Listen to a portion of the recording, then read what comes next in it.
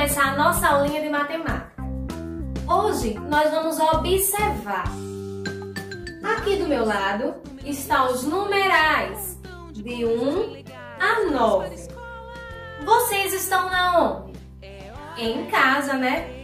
Em casa, vocês podem observar que os números, eles estão em toda parte. Televisão, quando a gente liga e vai assistir alguma coisa. Na nossa própria casa, do lado de fora, tem o número da casa, que identifica qual é a casa que nós moramos. Também tem no micro-ondas. Os números, eles indicam o tempo.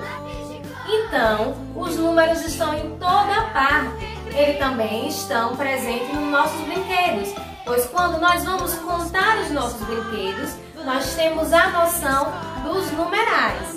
Então, hoje vocês vão caprichar contando e anotando todas as quantidades que vocês virem na atividade. Capriche!